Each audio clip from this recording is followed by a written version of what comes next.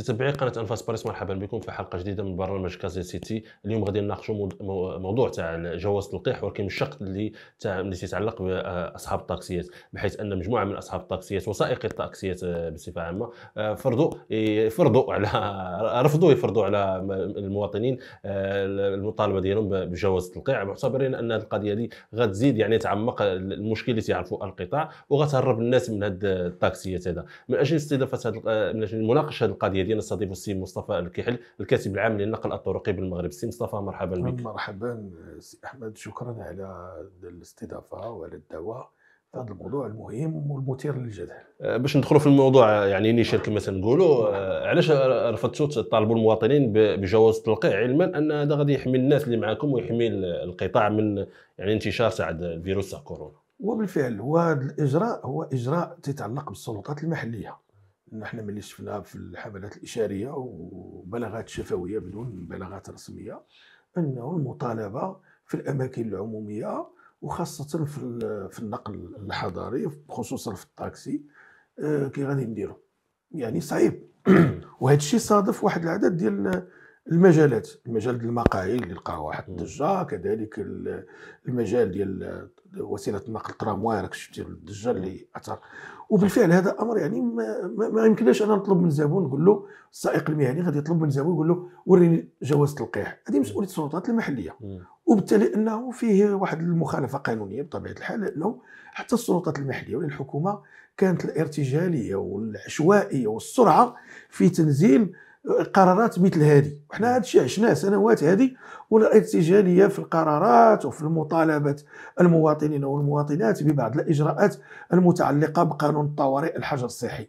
فهذا الشيء عشناه سنتين وعانينا منه ولا زلنا نعاني وخصوصا أن هذه الحكومة الجديدة يعني الإجراء اللي بدات به إجراء شوية خلق ضجة وخلق واحد حالة نفسية خطيرة لعموم المواطنين والمواطنات اللي تيستعملوا هذه الوسائل ديال النقل وخاصة كذلك الأماكن العمومية الأخرى. لو واش الرفض ديالكم كان عن طريق التنسيق ما بيناتكم أنتم كنقابات تاع قطاع النقل ولا غير السائقين خذوا المبادرة وقالوا لا اللهم إن هذا منكر ما نطلبوش من الناس جواز التلقيح اش اش أش وقع؟ بالنسبة لنا إحنا كنقابات ما يمكنناش نفرضوا على السائق المهني ونقولوا له هل الأمور اللي غدير وغادي تطلب جواز التلقيح لأننا حنا بعدا كنقابات ما تستشر معنا حد. السلطات المحلية ما عيطت للنقابات ما اجتمعت معهم وهذا هو الإشكال. يعني ما حتى واحد ما فرض عليكم أنكم تطالبوا جواز التلقيح من ما هضر معنا حد ما دوا معنا حد. واش غانا غادي ندوروا حنا من تلقاء نفسنا ونقولوا للسائق المهني نطلبوا من المواطن. حرية كتبقى الحرية. لأن كتقيس الحرية ديال المواطن. هذا شيء خطير. انت الدور ديالك هو انك تأدي خدمة ديالك للمواطن والمواطنة. هنا وتاخذ الأجر مقابل هذه الخدمة. دون ذلك إذا كتجاوز المسؤولية ديالك وكطالب شي أمور اللي بعيدة عنك. انت غير معني بها. هذا هو مستوى كوفيد يعني من بين الإجراءات اللي اتخذت هو تقليص عدد تاع الركاب من 50 دابا وصلنا ل 70% ولكن شكون اللي تيخلص الضريبة؟ هو المواطن اللي تزادت عليه مثلا التسعيره ماشي اصحاب التاكسي تبقاو مرتاحين. أنتم آه مرتاحين لهذا الوضع تاع 70% آه اولا آه باش نأكد هذه المسألة سي. أحمد سنوات هذه السائقين المهنيين متضررين نعم. من هذه الجائحة وخصوصا هذا المشكل ديال التعرفه وهذا الشيء أكدوه المهنيين والمواطنين كذلك إلى حدود الساعة إحنا في 2021 وشكلنا على نهايتها ومع الولاية الحكومة تزاد في المازوت تزاد في الغازوال ما تزادش التعرفه بمعنى أن المستوى ديال التعرفه بقى هو هو. مقارنة مع هذه الزيادات الصاروخية في مادة المحروقات والمواد الاستهلاكية وخصوصا ان هذه وسيله النقل لأنها آه، كت يعني كتنبني على العلاقة التجارية بين السائق المهني في الطاكسي وما بين المواطن. لأنه اليوم كنقول أنا وكنأكد وهذا الشيء غيأكدوه العموم المواطنين وخصوصا السائق المهني بأن التجارة اليوم تجارة خاسرة. السائق المهني خاسر وكيتنقل ما عنده ما يدير غير خدام.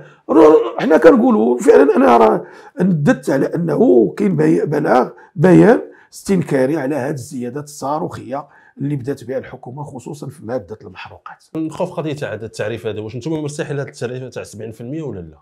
أه ما كاينش راحة. ماشي غير في وسيلة النقل الطاكسي في جميع أنماط النقل. النقل الحض... النقل الجماعي للاشخاص يعني القطاعات المتضررة. واللي هي كتعتمد على المدخول اليومي. بغض النظر على الوسائل النقل الأخرى اللي كتعتمد على الدعم. مدعمة. آه. النقل الحضري مدعم الدولة مدعماه نعم. ما ما ما اثرش ما اثرتش عليه الجائحة. ما تأثرش اقتصاديا. الناس اللي خدامين فيه ما تأثروش اجتماعيا. بمعنى أننا متأثر. أنا قبل كنت كنعاني سنوات هذه. جات الجائحة عانيت أكثر ولا زلت أعاني.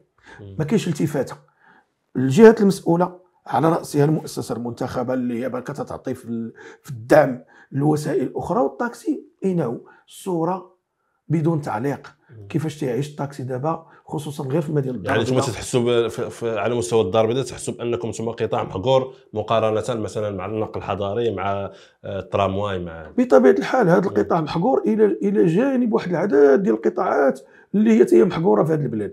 كاين الحقرة وهذا الشيء كيترجموا الواقع. ماشي كنقولوا غير أنا كاينة حقرة كاين تهميش كاين إقصاء كاين صم الآذان من طرف الجهات المسؤولة اللي ما بغاش تجاوب. حنا كنشوفوا مثلا نعطيك مثال سي أحمد كنشوفوا الدار البيضاء تتحول إلى إلى يعني إلى واحد ال- ال- المجال مزيان. كنشوفوا كاين تحول وكاين إصلاح. ولكن في حقيقة الأمر ملي كنجيو للواقع كنلقاو هذا الإصلاح لا يشمل هذه الفئات المتضررة لا يشملها أنا في غيخدم الطاكسي. كنشوفوا الطوبيس دار له ممر خاص ديالو.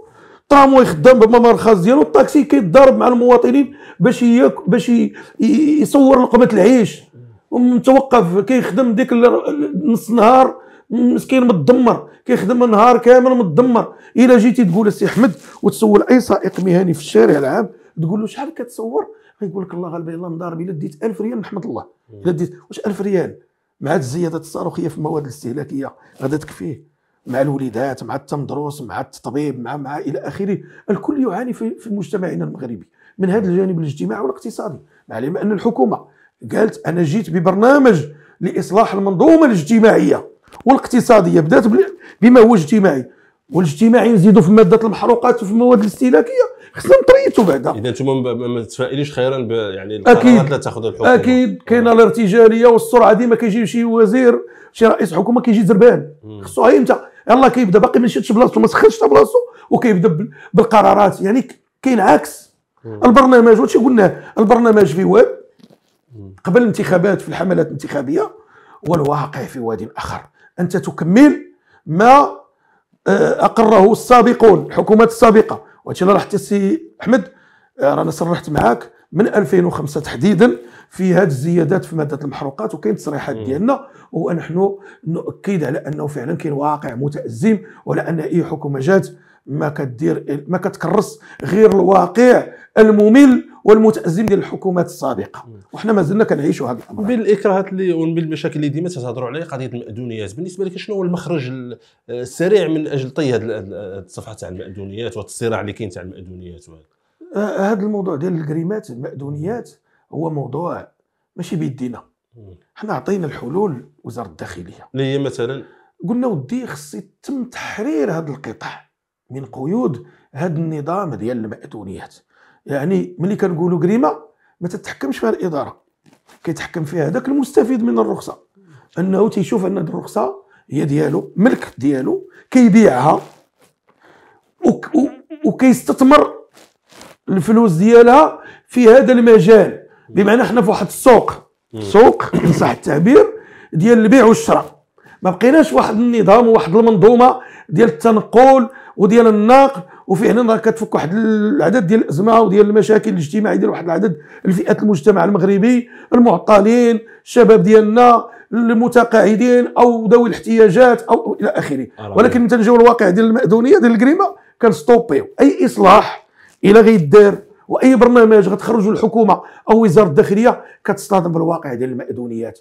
حنا السؤال اللي كيطرح نفسه واش هاد وزارة الداخلية بهاد القرارات ديالها والمقررات ديالها والصلاحيات ديالها واش ما قداتش أنها تحرر القطاع وتعطينا حقنا وتقول لنا ودي انتهينا؟ يا إما جوج حوايج تبعد من هذا القطاع وتعطيه لوزارة النقل. وانتهينا وحنا من هذا الموضوع. علاش باقا شاده في قطاع التاكسي؟ علاش؟ سؤال موجه لهم كنقولوا لهم طلقوا منا طلقوا من هذا القطاع الله يجعل البركه اذا الصلاحيات لابد ان نحدد المسؤوليات. اليوم وزارة النقل وفي هذا النظام الجديد الحكومة الحالية كاين وزير النقل واللوجيستيك. لما لا أن قطاع الطاكسي يدخل لهذه المنظومة ويديروا التبادل. وزير الداخلية مع وزير النقل هذا الجديد ويقول له نعم سيدي هاك سيدي هذا القطاع ضيفوا إلى جميع الأصناف الأخرى لأنه كاينة بطاقة مهنية في قانون السير اللي كتشرف عليها وزارة النقل وحنا معني هاد الناس ديال الطاكسيات معنيين بها. يقول لهم هاكو سيدي دخلوا لهذا النظام ويجتمعوا معنا وغنعطيوهم التصور ديالنا الحقيقي من أجل إصلاح هذه المنظومة ديال الجريمة. وانتهينا. والناس المستفيدين نشوفوا اش غيديروا معاهم. البعض تيقول بأن قضية تاع المأدونيات والصراع على المأدونيات هي السبب تاع تعثر مشروع تاع تجديد الأسطول على المستوى الوطني ماشي غير على المستوى المحلي.